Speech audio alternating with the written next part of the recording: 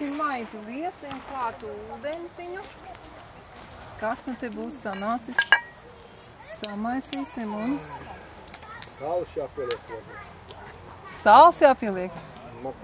Nevajag ķiploku labāk. Nu tā, Zemes sāli pieliksim. liksim iekšā mūsu māras krāsniņā.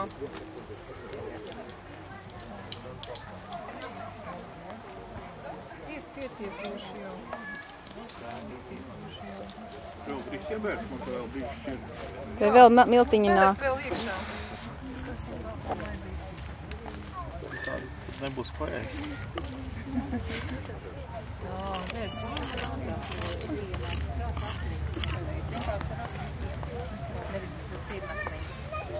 Kuram nav, stāv savu taplītī, mēs jau turpināsim. Kuram nav mājās maizes krāsnes, tiešām šādi var izcept, ja? tikai mazliet lielāku. Jākurina ir ilgākas stundas, kādas piecas. Lai latvieši cep maizīt paši, ja? Nu tā, liksim iekšā, kas nu te mums sanāk. Tā rituālā maizīte. Te vēl bija mans malumiņš. Nu, vai? Nu, dodat, nu, ievērsim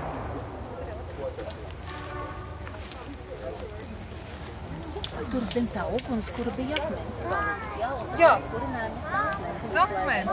Uz akmens, jā. Es vēl domāju, ka mēs karsējam šo visu padarīšu. Nē, tur viņi izcepsies arī. Nav tā, ka Starp neizcepsies. citu var cept vistu, ierokot apņema māliem un ierok zemē zem Jā. ugunskura un tādā veidā arī vistu var uzsākt. Tā, mums ir vēl kāda dziesmiņa par šo.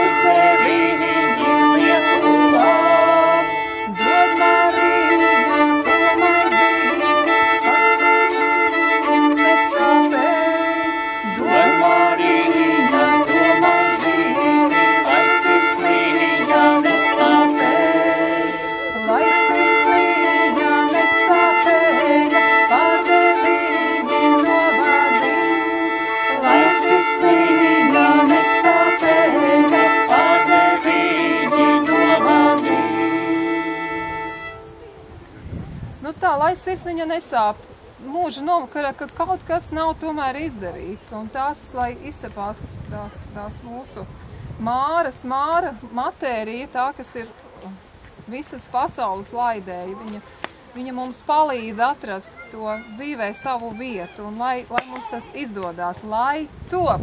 Lai top. lai katram individuālā dzīvē top viss tas, kas ir iecerēts, lai top. Lai top. Un, un tagad jāsastājās tā kā pa divi. Mēs uh, gribētu vēl kādas trīs stancīšus, rotaļas ar jums kopā iziet, kamēr cepās Māras maizīte. Ramantam bija dziesma, cepu, cepu. Kā tur bija? Nē. Pankūkas. Cep kukuli šitam ir šitam kalpokas nedos. vēl. Šitam nekam Jā. nedos. Nekam nedos. Ramans zināja tur vienu. Iesim tagad apkārt tām ugunskurām, ja? Ejam uz turieni. Ramāna, tu taču par tām pankūkām vai uz? Es gribu apsēsties, paziet pasēdēt. Šitos te no sausos.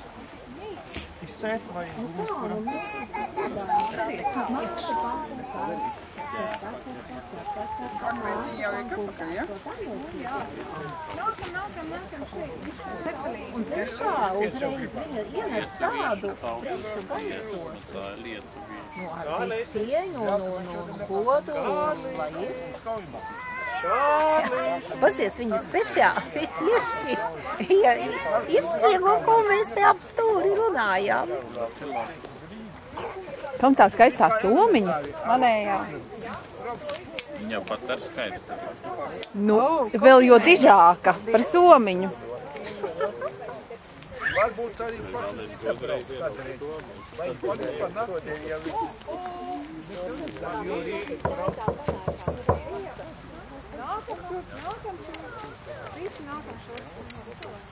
Rupmais, rupmais, paņem to nīti.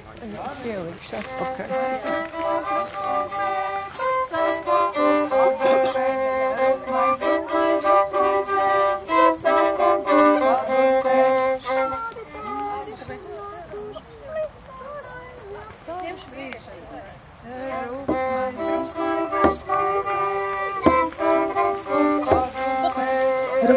visas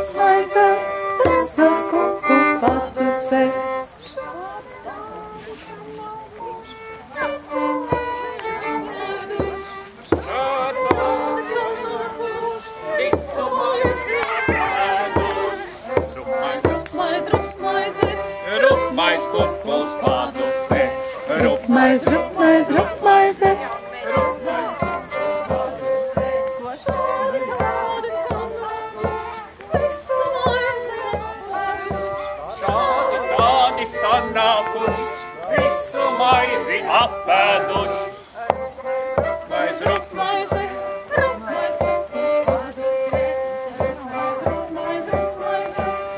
Mēs padusē.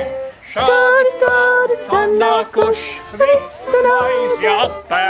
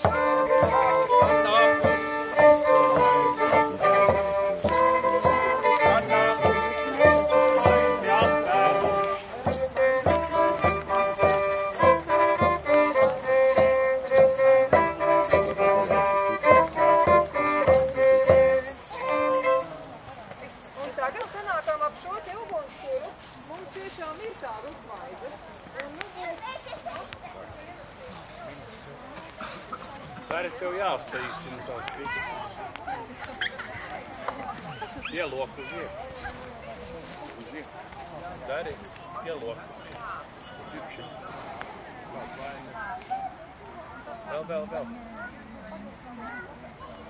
Uz augšu var būs labi, jā. Olais jau nevar karsts ir un grūti un garš ceļš. Nu, re, kur ir maizīte. Re, kur tāda un šitāda. Jūja maizīt, re, kur ir tā māras maizīt. Lai jū arī var dalīt. Jā, jā. Vajag pat Nu, nāk, nāk, nāk, visi, visi, ej, jūs tur, nāk šurp, nāk šurp. Jo šitai maizei svētība. Jā, visām maizēm. Viena ies uz labo pusi, otra uz kreiso pusi. Nu, tā maizīt jālauž ir, ja? Nu, nāk cieši aplītī, tā, lai ir kārtīgs spēks mums visiem.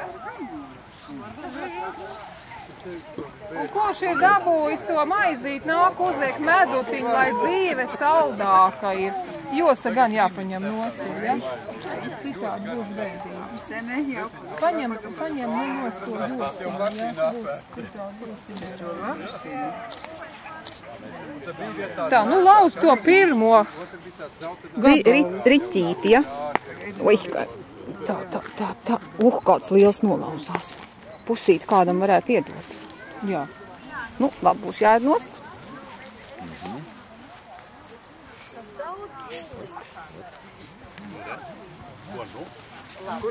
Uzlieciet, lūdzu, man arī.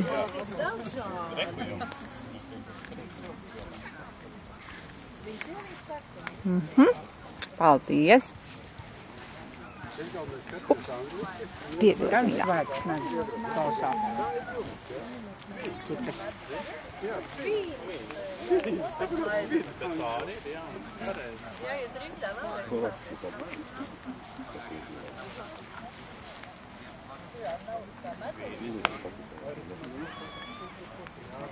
Vai jūs to zinājāt, ka ka tas ir vissanākais veids, kā ēst maizi? Bez nāšanu, nu vienkārši lauzt.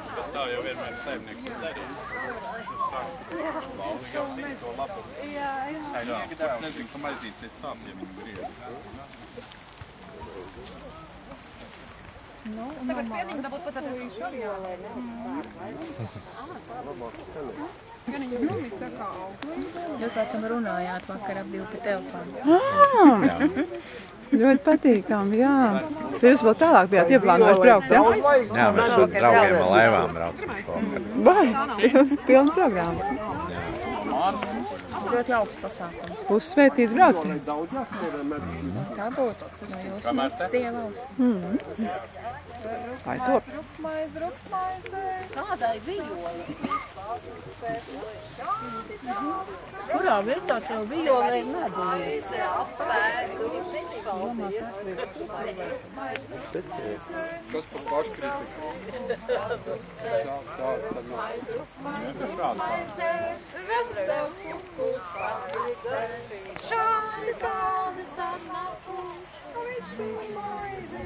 Jūs rīdzinieki, jā?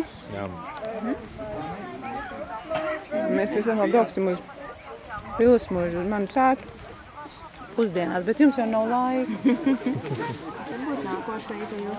Nu, nākam, nākam, kad mēs taisīsim vēl lielāku šo pasākumu. Tagad vienkārši budžeta varianti bez kādiem līdzekļiem pilnīgi. Līdz nākošajam gadam jūs neko netaisīsiet, ja? Ne, nu, nu, mārsmoks tājas. Bet mēs Latvijas Savādāk maizīt. Oi, kāda. Ops. Paldies. Jā, šitā tā. Skolā bija lielā krāsa. Paldies. Mazā skatītāji nāk, cepta. Vārda.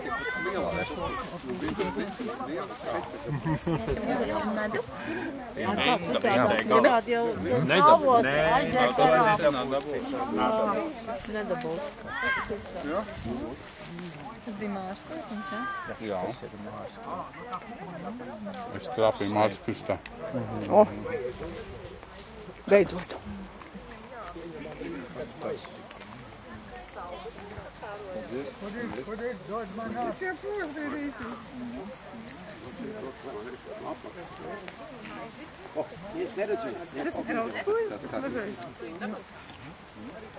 Tas bija Mārs Kūtiņš, jā? Es trāpīju Mārtas pirkstā. O, beidzot. Malači, tu lielu gabalu paņem. Nu, netaisnojies. Bet viņam ir iekšā. A divi tevi, ko tu Nē. Jā, viens tikai, tu otru neredzēji. Tikko aizgāja, ne? Ā, nē, tas nav tas. Forš bērns, tu nejaucies pirmā brīdī. Ejam, Bērns ir normāls. Jā, jā, jā, jā, jā, jā. Par šo tēmu runājot, jāsaka tā, lai top latviešu sadarbība ar krieviem Latvijā. Un visiem citiem citvalodīgajiem un citu etnosu pārstāvjiem, veidojot Latvijas nāciju, kas pārvalda šo Latvijas zemi. Un lai mums izdotās izglītot mūsu jauniešus un bērnus, lai mēs mīlam visi viens otru, lai top.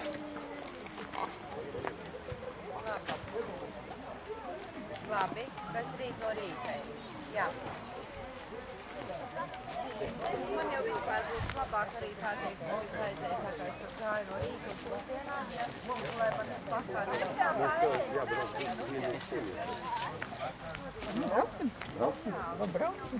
Kas pie stūra, kas nedeg, tad ir labi. Laikam.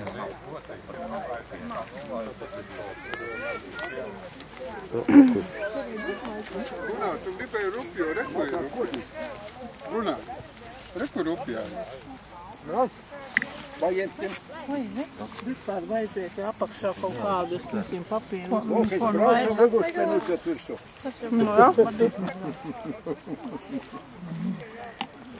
Ātrās kājas. Kam tad? Jāapslauka tas kaltautiņš. Nu jā. Es domāju, ka latvieši senāk labi dzīvoja. Maize bija, medus, Vairāk neko nevajadzēja. līgaviņa pie sāniem, Durvīm vai, vai atslēgt. līgavainis pie sāniem, vai puika. Un gotiņa. Un zirdziņš. Un vistiņa. Un gailīts. Jā, un tā daudz, kas bija baigi. Tā nav īsti īsti karot. Un sunītis un kaķītis. Karot ir man. O, obligāti tas jādara uzreiz vai uz pusi tikai. Cik vēlas? Cik sirds karu? Viņa iedod pārējām arī tā. Jā, atgriezās.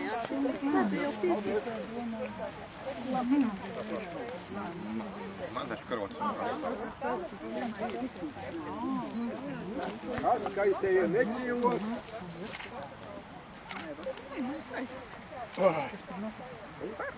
Maize ir, medus ir, viss. Jāiet uz upi mazgāties.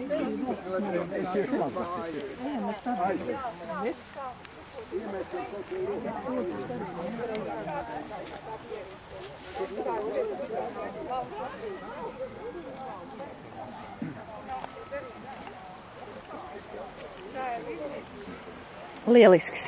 Svaigumiņš. Paldies.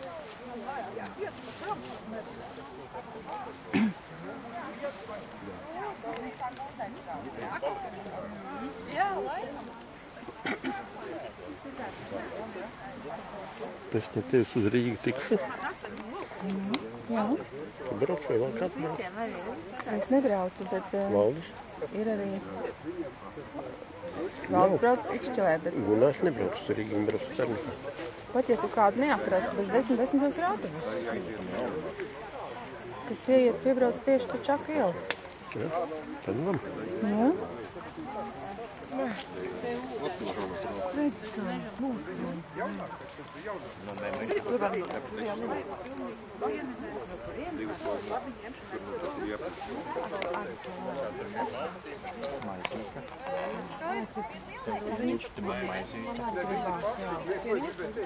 Un ražas mielas turpināsies Latviešu biedrības sētā, izumos, ropažos, vilas muižā. Visi, kam ir laiks un vēlēšanās darboties, nāciet apskatīt dievnīcu, apozolu, kas ir iekopusies, un krustabiņu, kas top virzītē kaln, pakalniņā, mežiņā. Nāciet skatieties, kā latvietim katram tāda sēta, lai būtu. Un galdi ir klāti, un visi ir mīļi aicināti, kam ir laiks un vēlēšanās.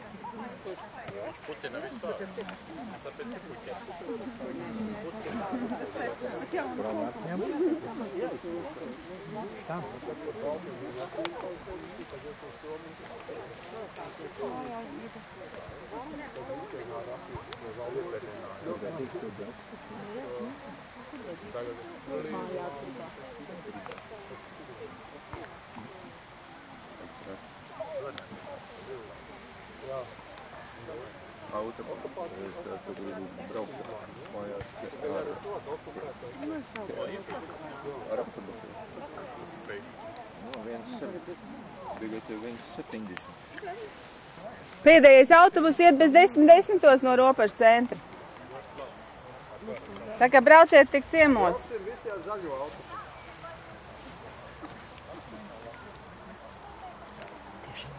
Citādi būs jāgaida līdz nākamajai mārai. Jā. Un nākamās māras būs, eh, robežiem būs liela jubileja. Un tad varēsim svinēt koši. Kas viņam ir par jubileju? Cik liela, jā. Nu, protams, ka ne jau patiesie skaitļi, bet tie paši. Kā, ar, kā jau Rīgai un visiem pārējiem jau arī, protams.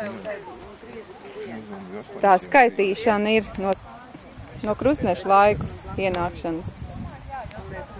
13 gadus ir. Jau no to krustneša laiku tik sirsnīgi visi atzīmē, ja? Nu Ar jā. Tādu prieku. Oi, mums ir 700 un 800 gadu, bet kopš okupācijas. Nu, tā tas ir gudri To iedizainēts. aizmirst pateikt klāt, kopš okupācijas. Rīgai cik gadi ir tagad? 80. Kopš 810. Ā, no, tā ir 810. Jā, bet tu nepateici klāt kopš Rīgas okupācijas. Nu, kas bija Rīga? Kas bija Rīgas? Rīgas bija bandīts, vikingu vadonis, kurš vēlāk tika dievišķots. Viņš viņa uzcēla pirmo cietoksni, tur, kur Sarkandaugavas attaka bija. Un to vietu nosauc par Rīgu, viņa vārdā. Tagad viņš ir dievišķots Rīgas. Viņš ir skandināvu dievs. Viņš bija bandīts, barvedis, atbrauc šeit, laupīja zemgaļu, tu tur zemgaļu dzīvo, jā. tur ir zemgaļu zeltenis, tās pārdeva projām. Nu, diez vai viņš to darīja, bet nu, Viņš tā Tātad darīja. viņš bija arī pirāts. viņi, viņi bija pirāti. Arī. Kā visi Pirāti. vikingi. Viņi A. Kapitālisms esot radies no Nu, bet pirātiem. Vikings. Kad tad Rīga radīta? Vi- vi- Rīga ir ar do- do- do- do- do- do- 1201. gads. Kopš okupācijas. Nu jā, bet, bet Bet vikingi viņu okupēja ātrāk. Viņi viņu atrada. Jā, pirms. Vikingi. Ne, nekas nebija. Pur, purvaina vieta. Jo mēs sākām dzīvot. Viņi, viņi, jā, viņi, eh, jā, tas ir viņi. Jā, jā, jā. Mēs jau salaptos pēdējā vieta, kur mēs dzīvojam. Jo tālāk sākās tā delta un purvainā, un nu, tur normāls cilvēks taču nedzīvoja. Tur tik bandīti pa tiem krūmiem, pa tiem purviem ņēmās. Un tad viņi uzbēra to kalnu pirmo. Tā pirmo kalnu, cietokšņu kalnu, tur bija tā Riga. Tas, tas ir tagad, kur ir esplanādes, ne, ne, tur, kur esplanādes, ziemeļu gals apmēram, nu tad. Tur, kur ir Latvijas energo māja, tur iet sarkana Daugava apakšā vēl. Tāpēc tur bija ļoti grūti uzcelt to māju. Tur nāca Daugavas atzars, nu, Delta Daugavas. Un Tanī pusē kaut kur viņš tur ir tagad jau vairs neatradīs neviens, ir bijis tas pirmais kauns, ko tie bandīti uzcēla augšā. Un tad sāka laupīt un zakt. un- Un laupi joprojām? Jā, Un laupi joprojām. Tas labs. protams. Tas labs. Nu, tad beigsim laupīt viens otru un viens otra godu. Lai top.